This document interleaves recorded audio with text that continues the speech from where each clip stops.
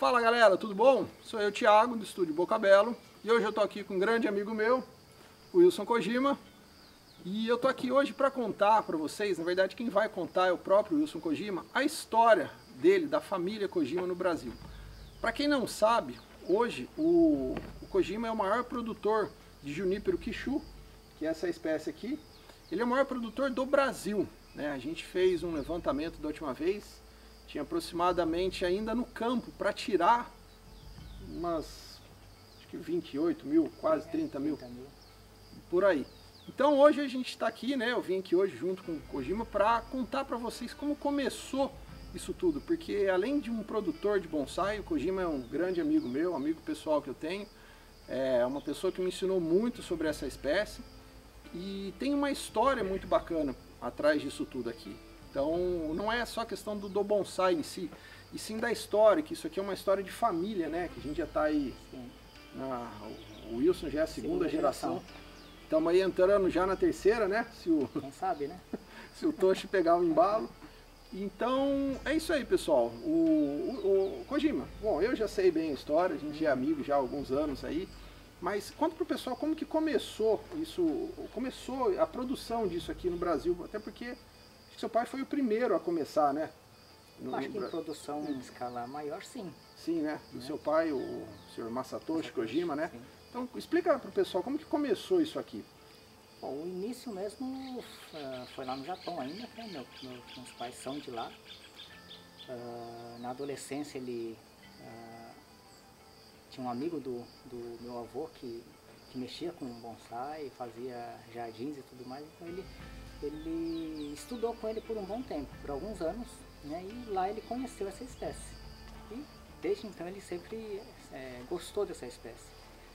Em 58 eles vieram para o Brasil, trouxeram uh, mudas e tudo mais, mas 45 dias de viagem num, fechado num container, sem sol, sem poder regar, todos morreram. Exato, né? com certeza. Todos né? morreram.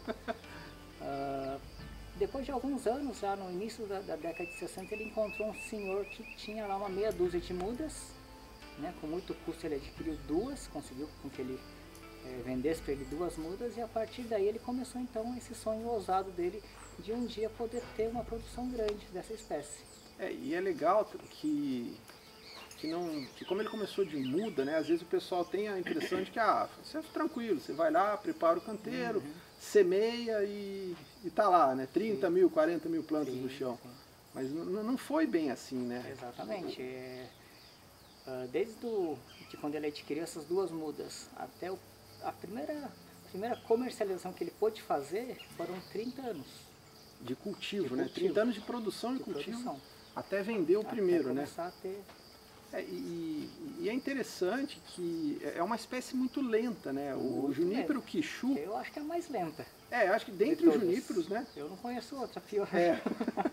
acho que dentre os juníperos, o, junípero quixu, ele é o mais lento de todos, né? É uma planta que responde muito bem aos trabalhos no bonsai, ela desenvolve muito bem, uma planta forte e resistente, porém ele é uma planta de crescimento lento, né? até ela se tornar vigorosa, madura, né? ela é uma planta muito lenta. E então, quando, como o Kojima falou, o pai dele adquiriu duas mudas, e aí tem muita gente que não, não entende, às vezes, quando a gente fala isso, fala, tá, mas de duas mudas como é que viraram 30, 30 e tantas mil plantas no chão? É, como que foi que seu pai começou mesmo, sabe? Então, no, no, início era estaquinhas, né? Qualquer, qualquer brotinho que, que conseguisse cortar lá das mudas se fazia estacas, né?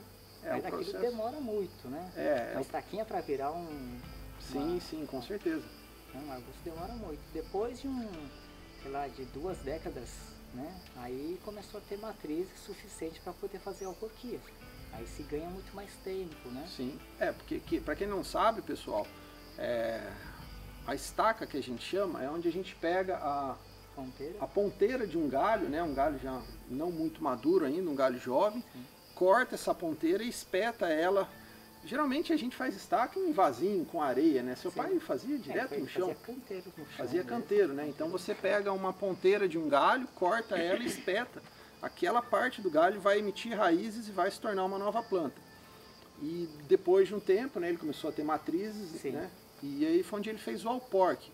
O que, que é o alporque? O alporque você vai pegar uma parte de um galho, mais ou menos da espessura de um dedo assim, você vai descascar em volta dele, fazer um anel, é, colocar esfagno úmido, né? O esfagno é uma espécie de musgo seco, uhum. às vezes com hormônio enraizador, alguma coisa, envolver ele com um saco plástico ali, um papel alumínio às vezes, e dali a parte que ficou sem alimentação de seiva, porque você cortou, fez um anel descascando veio vivo, aquela parte emite raízes, né?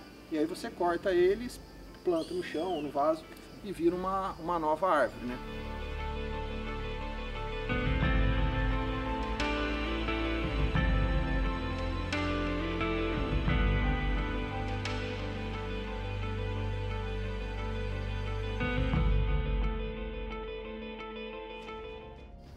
Bom, pessoal, então agora que vocês entenderam ali como começou essa história, né, com através de um sonho, né, do seu Masatoshi, que começou com isso, e hoje o Wilson dá continuidade ao sonho do pai dele.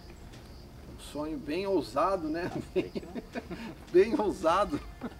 E, e, depois disso começou uma nova fase, né, que era de comercialização, 30 anos depois, né? E como, como que vocês começaram a comercializar porque era uma espécie que ninguém conhecia no Brasil, né? Até o pessoal do paisagismo mesmo, para jardim, tinha um pouco de receio. É, por, por não conhecer mesmo a espécie, né? Ninguém produzia, né? Essa, talvez tinha lá no fundo, no fundo do quintal alguma coisinha, mas ninguém nada assim na questão de produção mesmo, né? Essa espécie.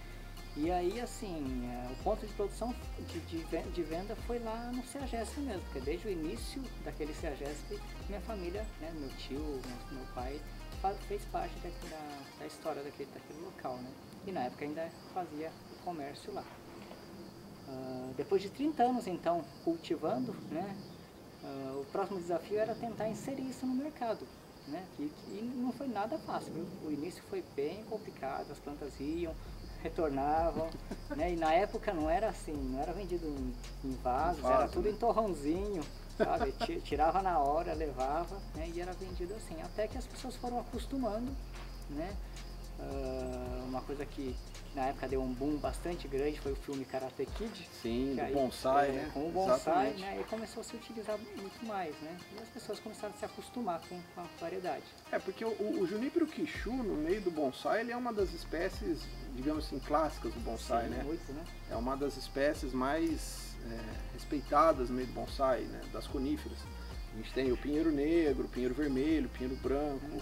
o Junípero Kishu, o Junípero Tuigal, então só que naquela época, né, o bonsai ainda não era muito difundido no Brasil, né? Hoje a gente tem o bonsai tem um nome forte no Brasil, né? Tem está tá desenvolvendo muito.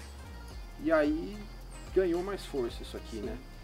E nesse meio tempo, ô Kojima, você teve uma teve um incidente, né? A gente uhum. infelizmente teve uma fatalidade aí do, do seu pai, né? Que exatamente que, que veio a falecer, né? Foi foi trabalhando mesmo, né? Isso, é, foi um acidente trabalhando, né? Aí acabou não, não resistindo, né? Sim, sim. Ferimentos e tudo mais. E assim, isso foi em outubro de, do ano de 2000, né? E aí ficou aquela, aquela, uh, aquele... Incerteza, ali, a dúvida, né? né? Vai, continua, não continua, né? Eu já tinha decidido fazer isso, né, pra minha vida, porque eu sempre gostei mesmo. Né? Nasceu né? aqui, né? É, nasci no meio, né? E aí, na época, junto com, com o primo, a gente deu continuidade, né? E a partir de 2011 eu tô tocando sozinho. Sim, né? sim. Então, é, depois que a gente entende tudo isso, vem uma outra questão muito importante também da gente comentar, que é a, o trabalho de um produtor, né? É, não, não consiste em apenas plantou, deixa crescer sozinho, vai lá, tira e vende pelo contrário, é um trabalho muito puxado, é um trabalho muito cansativo e que exige bastante conhecimento técnico, né, para você entender o comportamento da espécie. E, e, é um trabalho contínuo, né, não para nunca. Você tem que preparar a planta para ser tirada do chão, você tem que tirar a planta do chão. Depois que você tira, ela passa um período de adaptação, né, fora do chão, onde você não nem rega o, o junípero, no caso, você não rega só molha a folhagem. E, e isso tudo é uma coisa muito, muito cansativa de se fazer, né? Cansativa fisicamente, digamos assim, é um trabalho bem braçal. E, e depois que você, você assumiu isso aqui, digamos, assumiu mesmo, é, você passou um período mais tranquilo, com, com, tirando menos planta, você manteve o mesmo ritmo? Como é que foi essa mudança de quando seu pai infelizmente veio a falecer e você assumiu isso daqui? Então, a gente teve algumas fases, né? É, porque assim, existe na questão da produção, existe tanto o trabalho que você pode fazer para aquele ramo do bonsai totalmente comercial, são plantas simples, né? Tudo para agregar menos valor, né? E também a questão de começar a trabalhar com qualidade. Então, nesse, nesse, nesse período, nesses 20 anos, teve fases uhum. né, que a gente acabou mesclando entre um e outro. Né? E, e, agora que a gente, depois de, sei lá, 5 anos para cá, que a gente está pegando mais forte de novo na questão da qualidade. É, o Kojima a gente tem já uma amizade de fazer quatro anos já que a gente se conhece, né? Anos, sim, quatro anos. E, e, eu tenho acompanhado sempre que posso, eu estou aqui ajudando o Kojima mesmo. E é até, uma, é até uma história um pouco engraçada, né? Como, quando começou aqui, é, teve um amigo meu que me apresentou o Kojima, o Ricardo Criva, ele me apresentou o Kojima porque eu falei que gostava dessa espécie, queria aprender, estudar sobre ela. E ele falou, olha, tem um cara que só mexe com isso. Me trouxe aqui. E a primeira vez que eu vim, eu vim para conhecer, né? Comprei uma plantinha bem simples, tudo. E, e perguntei para o Wilson, falou, como é que eu faço para vir aprender sobre isso, né? E conta, conta a sua versão, a versão do Kojima é mais divertida. Ela. Ele fez esse contato, a gente se conheceu e tranquilo, né? Depois ele começou a entrar em contato diretamente, perguntando se é, que ele tinha interesse em aprender, que, que ele podia vir ajudar, fazer qualquer coisa, né? E eu nem dei bola, porque, né? Mais um, né? Vai saber, né? Mas com bastante insistência, até que um, tanta insistência, eu peguei, e pensei assim, ah, vou, vamos, vamos deixar ele vir uma vez. Botar ele para capinar ver, o mato, né? Que ele, né? Qual é que é a dele, né? E aí, assim, uh, perceber que o interesse dele realmente era né, de, de, de aprender, de fazer essa troca, né? De, de, uh, de trabalho com aprendizado.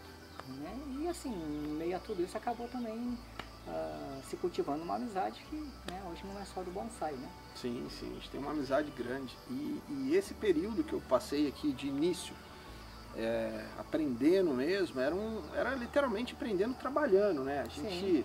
limpava as plantas, limpava a madeira, cortava o mato do campo, tinha que preparar, fazer a sangria das plantas, tirar as, as plantas do chão, né?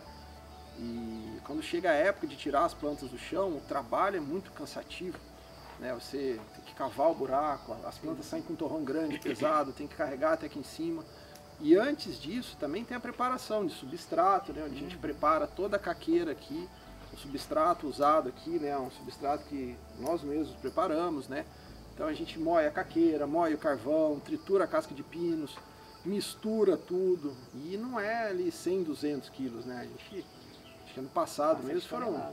foram pelo menos uma tonelada e meia, quase duas toneladas de substrato preparado na mão mesmo. Então é, é muito trabalhoso, mas é, é prazeroso, porque a gente conversa muito, a gente tem uma amizade grande, a gente dá bastante risada e, e aprende, né? Porque o, uma coisa importante que o pessoal tem que entender no bonsai é que o bonsai não é só a árvore em si. O bonsai envolve a árvore, é, envolve o vaso, que é o ceramista, a técnica do ceramista, né, o conhecimento dele.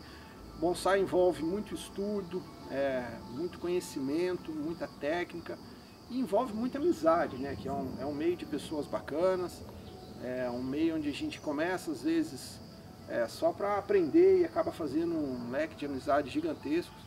Então isso é uma coisa bem importante no bonsai. Tanto que hoje, é, devido a essa nossa amizade tudo, a gente tem a nossa escola aqui, já está no, indo para o terceiro, né?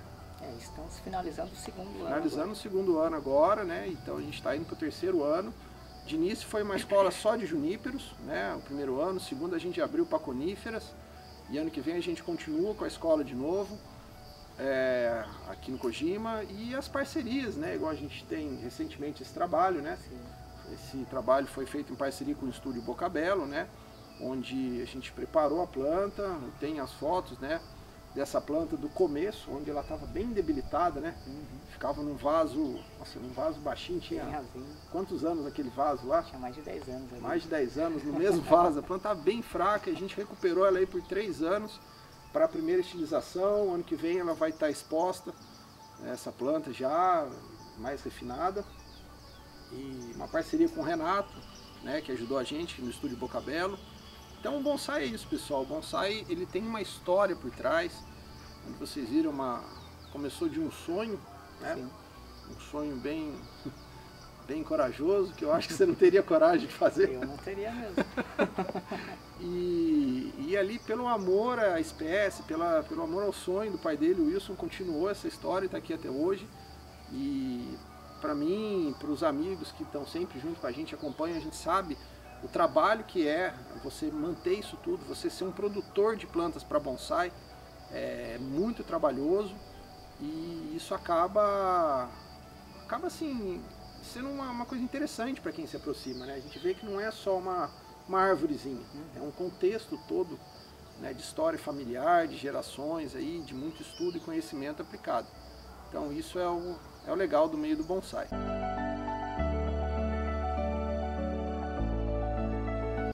Então quando a gente começa a estudar bonsai, a trabalhar as plantas, né?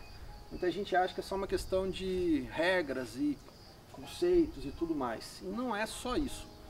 Né? A gente tem as regras do bonsai, os conceitos estéticos dentro do bonsai, mas a gente também tem um, algumas questões históricas, né? de, de, de, arte mesmo, envolvidas nisso.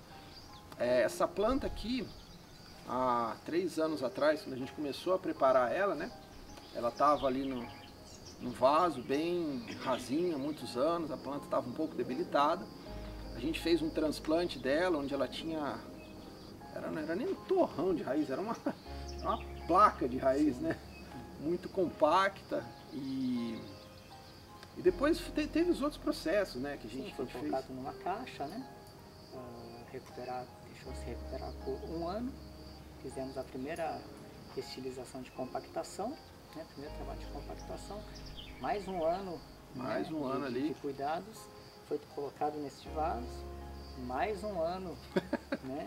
De mais de- cuidado. De, cultivo, né? Dando saúde a ela. E aí foi feito então essa última, esse último trabalho de estilização. É, porque é todo um processo onde ó, é importante que as pessoas entendam, vocês aí que estão começando no bonsai, é, os juníperos, as coníferas em geral, são plantas de crescimento lento, onde não se pega a planta e já começa a estilizar tudo. É importante a preparação da planta para isso. Essa preparação envolveu o transplante para melhorar a qualidade do sistema radicular da planta, para que daí sim melhorasse a folhagem. Foi feita uma limpeza, um trabalho de madeira, depois foi feito uma compactação, né, onde a gente abaixou os galhos dela, ela era uma planta toda aberta, a gente abaixou. Depois disso foi feito uma, estiliza, uma outro transplante para um vaso de cerâmica, né, onde a gente diminuiu um pouco mais o torrão, ela criou mais raízes finas, um substrato melhor. E aí sim a primeira estilização, é, que deu a forma dela, formou as linhas e agora ela está sendo preparada, né, para a próxima estilização, que é o, o- o refinamento, digamos assim, o primeiro refinamento dela, né. E é interessante que essa planta, ela tem um- o projeto dela em si, o formato, né, o desenho estético da planta, ele tem uma, uma representação de, da história mesmo, né, de vocês aqui, né. Essa planta foi, foi a última que você trabalhou com seu pai, né? É, assim, no último ano, vamos dizer assim, né? Sim. De vida dele foi, foi a gente ti- tirou essa planta do, do campo, colocou no vaso, ainda junto com meu pai, né?